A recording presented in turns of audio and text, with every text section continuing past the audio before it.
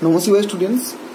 Today I am going to discuss about some notes and problem in chapter pair of linear equations.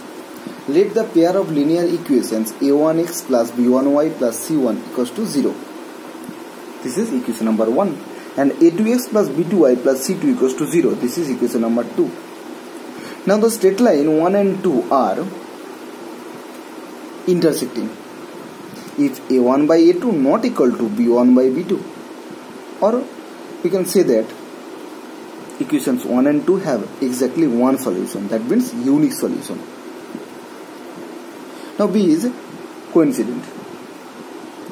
If a1 by a2 equals to b1 by b2 equals to c1 by c2 or equations 1 and 2 have infinitely many solutions and C is parallel if A1 by A2 equals to B1 by B2 not equal to C1 by C2.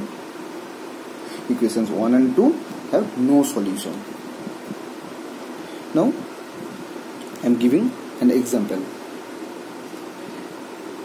The pair of equations are 9x plus 3y plus 12 equals to 0. This is equation number 2.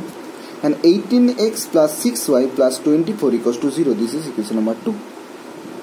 Now comparing 1 with the equations a1x plus b1y plus c1 equals to 0. So a1 is 9, b1 is 3, c1 is 12. Similarly, comparing 2 with the equations a2x plus b2y plus c2 equals to 0. So here we can write a2 equals to 18, b2 equals to 6 and c2 equals to 24.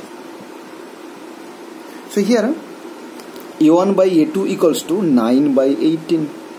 So we can write half.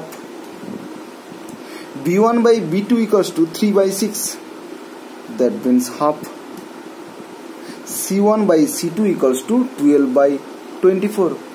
That means half. So here a1 by a2 equals to b1 by b2 equals to c1 by c2. So the line 1 and 2 are coincident. Or we can say that equations 1 and 2 have infinitely many solution now